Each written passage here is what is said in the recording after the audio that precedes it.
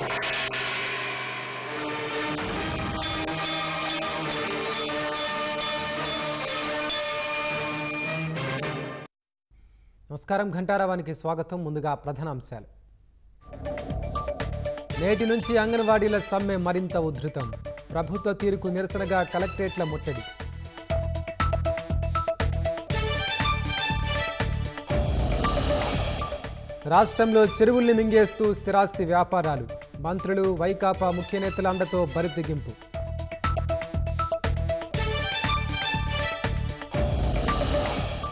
కాకినాడలో సీఎం సభ జన సమీకరణకు విశ్వ ప్రయత్నాలు. రాకపోతే పింఛన్ ఆపేస్తామంటూ వాలంటీర్లతో బెదిరింపులు.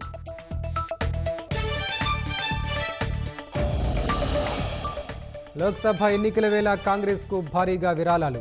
రెండు వారాల్లోనే పది కోట్లు వచ్చాయన్న నేతలు.